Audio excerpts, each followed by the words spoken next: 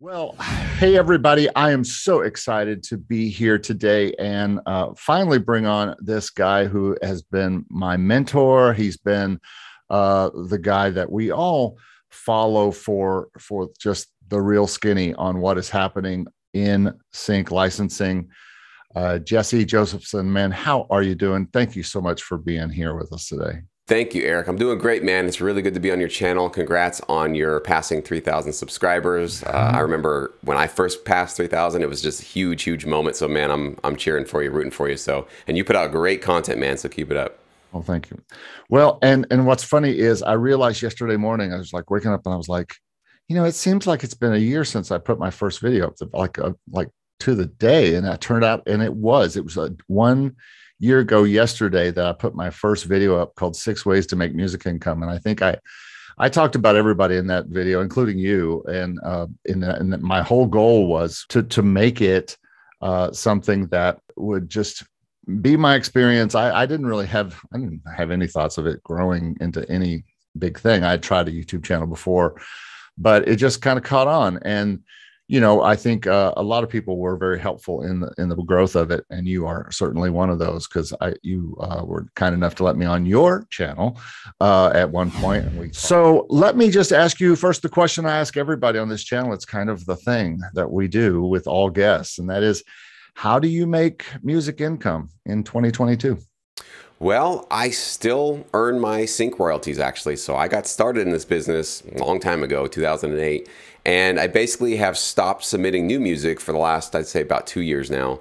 Um, but the cool thing about this business is you got passive income. So actually, every quarter since I stopped, sort of, I guess you'd call it a mini retirement. I don't know if I'm fully done, but for now I am. And you still earn income, and I still get actually new placements, and I still am earning the royalties from any of the placements that have been just continuously airing since they got placed, whenever they got placed. So that's still been going on in the background, which is really cool. Uh, but obviously, primarily now, Sync My Music is my education platform, so that's my primary source of income now. So basically, between those two, um, I'm luckily and, and very thankfully able to uh, pay my bills. So I think of myself as a composer slash educator, and composer comes first on purpose.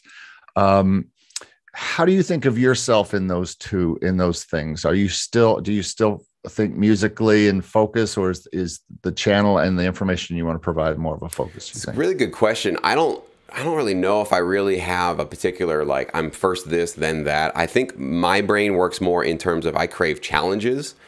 And so if it's a music project and it's challenging to me and exciting, like I'm all on board. And mm-hmm. if it's teaching other people how to do this and creating like a YouTube channel or putting together, you know, the platforms that I put together and it's like, well, how do you do that? I don't know. And it's like exciting to me to see this kind of puzzle form in front of me.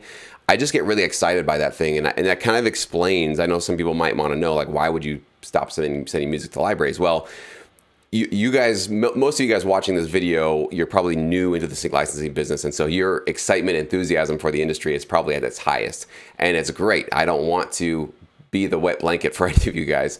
But as you get into the industry for years and years and years, um, getting placements on TV shows becomes your new normal. It's, it's not actually new and exciting anymore. It's just kind of what you have been doing for many years and you kind of expect it. And it's still a great, wonderful thing to be grateful for. But my brain, for whatever reason, it is wired to crave novelty. It just wants something new to tackle. And I felt after, let's see, that was 10, 12 years or so.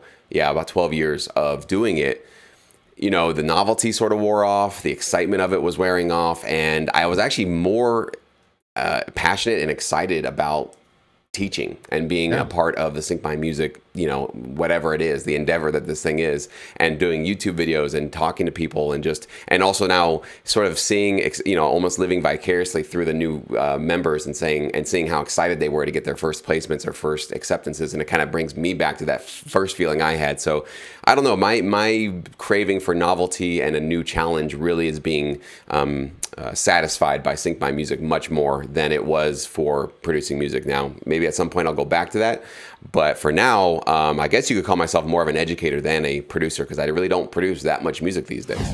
And when you did produce music, it sounds like you felt you were like more of a producer than a composer. I mean, uh, when I watch your channel and I and I I, I think of you making music you are making it almost for a absolute focused purpose. In other words you're you, you're not just sitting there oh i, I just got i just really want to create some rock today because it's it's stirring my soul. You're like okay no this person this library needs this thing and that's really what i want to focus on. Is that kind of what you think? Totally. And i think what some people might see that as a limiting sort of approach to creating music which is like wow you're letting somebody else tell you how to get in the mood for a particular style but for my brain, it actually helps a lot because I need focus. Like if I don't have the reins on, like I'll wander and I will be in 18 different genres at once and it'll be a complete mess. And I'll be searching through thousands of different synths to find the perfect one. So yeah. when you give me the restraints and say it needs to be rock, it needs to have this kind of a riff, it needs to be this tempo, it needs to blah, blah, blah I actually find that really liberating because I can then just focus on making high quality music and I don't have to make any of those other choices. They've all been made for me. So I think that's why I've said to many producers on my channel for sure is, you know, sync licensing has you you have to like fit into that. Whatever that is, it has to work for you because for many producers, artists, composers, uh-uh. they don't want mm-hmm. any restraints. That is totally just harsh and they're mellow and they don't want anything to do with that. So if that's you, then definitely sync licensing is not going to be a good fit for you because that's what you're going to be asked to do every single day, all day. And I think you guys know that you know, a lot of the stuff that I send to sync libraries is stuff that I took a while to do because I really wanted to do it my way and do what I wanted, but yet also please the library. So writing briefs is a whole different thing. Writing fo- focused briefs, I, I can do and I do all the time, but it's, I wouldn't say I enjoy it. And so in that way, I may not make as much as the next guy. Um, it, my sync career may only be what I want to make. So that's just going to be the way it is versus yours or other people who are really focused because being a producer does not mean being a composer or an artistic person all the time. A lot of times it means you just need to produce what the client needs and you need to shut up. And it's not about you. And that's the thing I try to, when I try to talk about any kind of music for others or making music income for clients, I talk about it's not about you. And I think you do that too quite a bit. Yeah, it's a service industry, right? We, we've probably talked mm-hmm. about that ad nauseum at this point. And hey, we can't talk about it enough. If you're not serving someone, even with this channel or with um, with your music, it's it's not what's it for. You're just absolutely. I wanted to dive in because you you mentioned this in some of the questions we might want to talk about today, and the idea between you know art and business in terms of like and where do i see myself in terms of am i really more an artist or am i more of like a business person kind of thing mm-hmm, mm-hmm. and i want to dive into that because i think that you know this concept of you know some let's say there's this i think belief that like well either you can sell out and have to serve somebody by basically you know, bowing down to whatever they need and creating whatever they want. Or you can be an original artist that just completely floods the market with your absolute original inspiration, which obviously in those two choices, one sounds a lot better than the other. But I, I have a little pushback on that because I, I challenge you to, to show me a artist i'm sure there are some out there but a popular artist that's actually made a living for themselves and actually been on the map who didn't have some consideration that this music needs to be digestible by the fans right mm-hmm. because these days, if I do create music, it is actually more for my therapy, my mental health, than it is. Obviously, I'm not going to be releasing any of it. It's really just about if I'm going through something difficult, like putting putting it to music and words and lyrics, just helps me process it. But that is not for the world to consume, and that it really is more of an artistic, therapeutic kind of process. And some artists can infuse some of their original thoughts and emotions, but you better believe they're talking about verse one, chorus one, verse mm-hmm. two, chorus. Why are they using the words like that? Why aren't they just I just feel like yelling for eight minutes. And like I said, there, there's exceptions to the rule. There are going to be some of those bands that have those 10 minute long, you know, fart session essentially. And those are great and those are awesome. But the, the music that's enriching people's lives, there's still a service mindset there. There's still a consideration of like, I want people to like this. There's not a just complete selfish, ugh, you know, a vomiting of what you want. Yeah. There's still this little bit of like, give me a little bit of the reins. Like, you know, two to three minutes is about where I want this song to be. So I do think that like everybody who's finding some success in the music business and whatever, you know, part of it they find success in, there's still an element of service that's built into it. So I think we just need to you know essentially mature grow up a little bit and realize that's the that's the big boy world here is that we have to be useful to somebody else if we expect anybody to give them give us their time or attention or money right?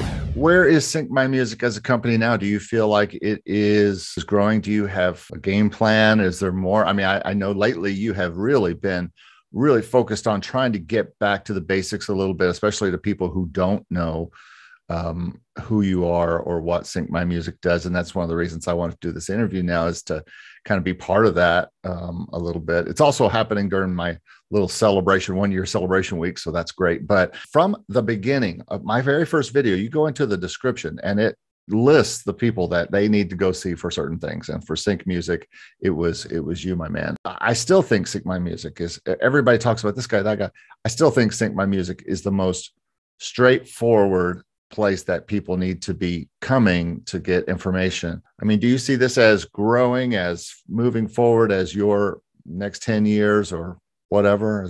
That's that's awesome, man. I appreciate the kind words too. That's actually exactly what I wanted to become was just a straight shooting, complete A to Z on how to do well on this side of business. So that's really cool to hear you say that, man. Um, I don't have really a 10 year plan. I don't really have a five year plan. I definitely am not going to be shutting it down anytime soon. I know that for sure. I'm loving it too much. It's too much fun. Um, you know, I, I will get burned out here and there for sure. Just like with any job, there'll be times where it's like, oh, the customer service is just bogging me down, or, you know, there's issues or there's tech problems, whatever. So I don't really know. I mean, I really felt like in 2020, I had a really, a lot of growth actually happened for the company in 2020. And I think obviously the pandemic played a lot into that. 2021 um, and into the beginning of this year, I felt like things really sort of stabled and stabilized and kind of slowed down a little bit. I actually was just not seeing a lot of new energy and excitement and that kind of a thing.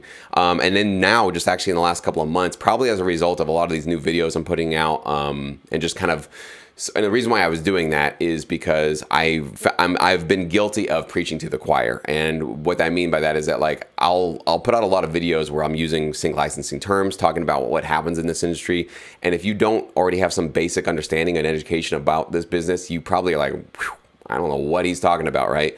And even really simple stuff like what is a PRO, what is a music library, right? What is the TV film sync licensing? So we're like really going down to the basics. So I just wanted to commit myself for at least a few months to put out some, you know, kind of newbie content essentially like welcome, you know, I want to basically expose this to you. Here's what it's about. If you want to learn more, you know, there's the free course that I offer. There's obviously, you know, I think 800 something YouTube videos now, plenty to search through there. Um, but in terms of the future of the business, man, I really don't know. I don't have any plans to like sell it or to stop it or anything like that. So I'm just going to keep going with it for now. Um, and I do want to constantly kind of reinvent it. I think one thing that I find uh, going back to my, you know, previous thought on this is that I need to have a new challenge in my life. And even in this business, I will get stuck. I will get sort of like stale after a while of like, well, okay, it's working, you know, things are working, people are finding success, the, the platforms are working, the YouTube channel is growing, and that that becomes normal. So my brain goes, well, this is kind of boring, you know, we got to do something else. So, you know, I, I, launched this new service called Pro Feedback earlier this year, and that was actually part of that craving of like, I need to do something different. I need to kind of inject a little bit more energy into my sort of platforms and into my business. And so you can guarantee I'll be doing that from time to time, just something. It might not be a new service, but just some new series or some new something that just gets my blood boiling. Because if I'm not excited and having fun with this and I'm doing it wrong, that's really my philosophy in life. I have to find a way to reinvigorate myself and make it fun for myself.